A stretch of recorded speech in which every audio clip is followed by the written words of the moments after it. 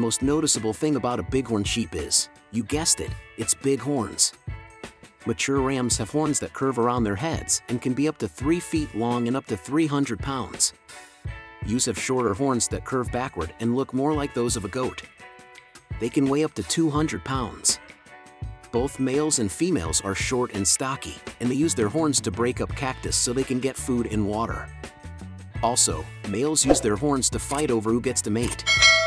The town of Big Sky and the mountains around it in southwest Montana are home to bighorn sheep. If you're lucky, you might see a herd licking salt by the side of the road near the entrance to Big Sky on Highway 64, along Highway 191, near the Gallatin River, or deep in the mountains while on an epic Big Sky wilderness hike.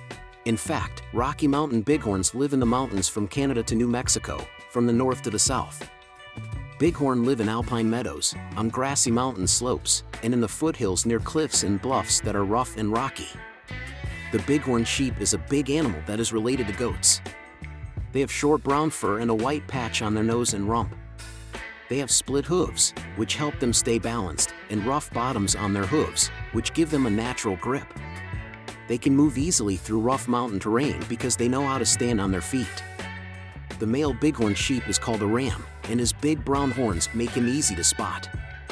The horns curve back over the ears, down, and up past the cheeks. By the time a ram is 7 or 8 years old, he can have horns that curl all the way around.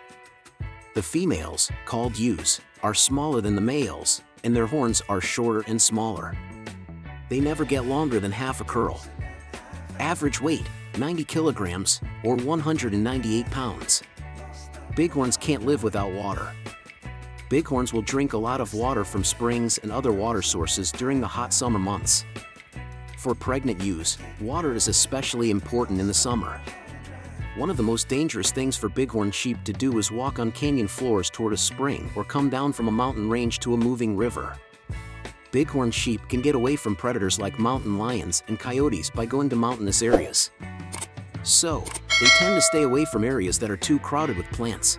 Ewes are sexually mature when they are two years old. In low-lying deserts, they will go into estrus in July, and in higher-lying deserts, they will go into estrus in August rams can use these higher hormone levels to find a mate. The ram will curl his lip to see if the ewe is interested in him or not. Once a ewe gets pregnant, the pregnancy lasts for six months, which is when plants start to grow new leaves in the spring.